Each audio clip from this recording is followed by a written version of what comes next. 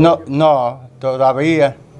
Estamos en espera de eso, pero todavía no ha llegado. ¿Usted es danificado aquí? Sí. ¿Qué, qué se le pidió a usted aquí? A mí se me perdió la estufa, el tanque, se me fue en toda la losa y todos los tratos y vea, y dos muebles se me fueron. Nada más pude encaramar uno. Entonces, Y no tengo en, en qué caerme muerto, lo que estoy tra- no ha sido notificado para la gente aquí entonces. No. Y estamos en espera de eso. A mí aquí han dado va y se va y a mí no me han dado nada. Vea, ni en una estufa, ni un tanque. No hallo en qué cocinar ahora. Hilda Florán Burgos. Silda, eh, el día de ayer el gobierno entregó los apartamentos de manera simbólica. ¿Han sido ustedes notificados para la entrega de los apartamentos? No, no, no, aquí no se avisó nada de eso, nada de eso. Incluso, mira ese fondo que está ahí, que nomás me de- el río me dejó el solar nada más. Y sin embargo, estoy aquí en esta habitación que me dejaron, me dejaron meter mientras tanto. Y tengo que pagar 1.500 pesos. Sin poder, ten- sin poder pagarlo.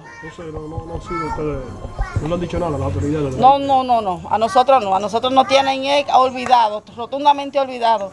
El río viene, hace daño, vuelve y hace daño otra vez y otra vez y otra vez y ellos no nos toman en cuenta a nosotros. Y esos apartamentos son de nosotros. Esos apartamentos nos pertenecen a nosotros porque nosotros somos- siempre somos los más afectados cuando el río se mete.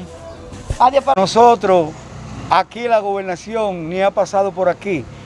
Eh, sí han mandado el, el- el- Departamento de Plan Social para alguna cosa ahí, pero no nos ha notificado de entrega ni que no calificamos o que nada. Este gobernador no ha hecho ningún acto de presencia en esta zona en lo que, está, en lo que ha estado ejerciendo su función ahí como gobernador de esta provincia.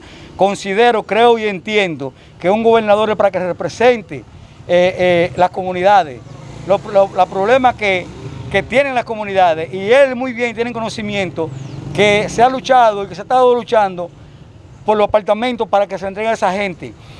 Y precisamente, cansado de hacerle llamado, llamado, nosotros los que ya vamos a tirarnos para las calles y llamamos por este, eh, apro- aprovechamos a todas las organizaciones eh, populares que nos acompañen. Mañana nosotros vamos a empezar la lucha y le vamos a demostrar a este gobernador que este pueblo está cansado del mal manejo que han hecho sus funcionarios y que esa situación no la vamos a permitir. Si tenemos que ir y, meternos allá a los apartamentos, lo vamos a hacer.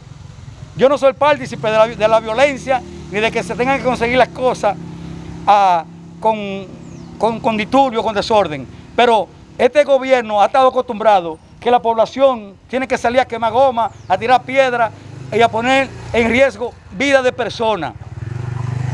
Si esa es la situación, si eso es lo que él quiere, que nosotros lo pidamos, de verdad, con una buena eh, huelga, lo vamos a hacer. Porque eso es un verdadero abuso, sabiendo muy bien en la, en la necesidad que viven esa gente. Los danificados no han venido a donde usted a decirle de que Aquí nadie ha venido a hablar de plan de movimiento. Aquí lo que están es durmiendo la gente como de costumbre, mandándole cositas. Nosotros no queremos como comunitarios que nos estén mandando cositas, sino que hagan el trabajo que tienen que hacer.